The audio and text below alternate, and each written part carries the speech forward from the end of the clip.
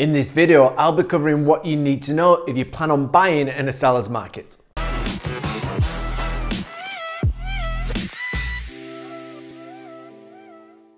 Hi, I'm Jimi Brockett with Oakwyn Realty and welcome to the Inside Track, where I bring you the answers to the questions you didn't even know you had about real estate.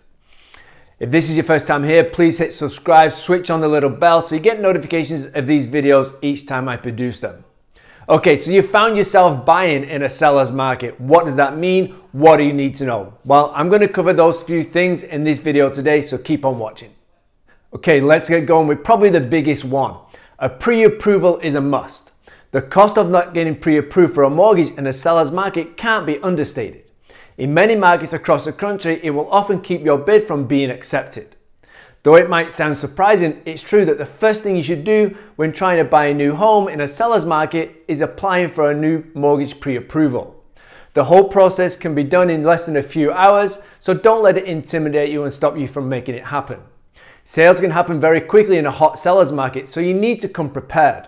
As a side tip, present a pre-approval with your offer from a reputable lender. It will make your offer look even stronger than anybody that doesn't have a pre-approval.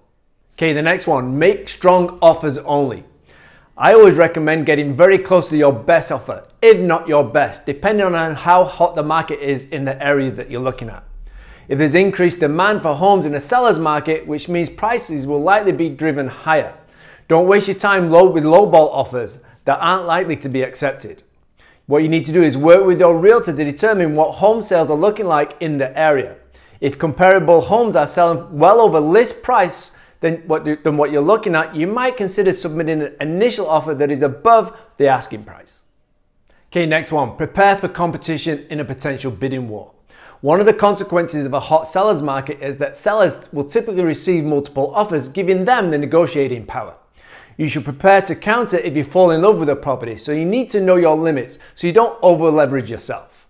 When looking for a home in a seller's market, it's a good idea to search for homes that are listed just below your maximum budget, which then gives you the room to negotiate and add more to your offer. Okay, personal letters to the sellers. These never hurt and it could stand you apart from the rest of the crowd when in a multiple offer scenario. If what you write suddenly clicks with the seller, it might put you in front despite not even having the highest priced offer. So I always recommend doing this. It never goes wasted. Work with a trusted realtor.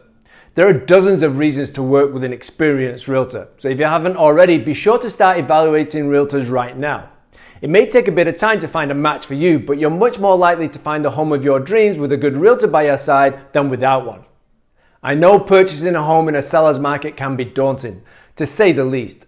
At times it can feel like the market is stacked against you, but remember, it only takes one solid offer to land your dream home. And if you follow the tips in this video, you'll be on your way to buying in a hot market when inventory is at a premium. So there you have it, what you need to know when you're buying in a seller's market.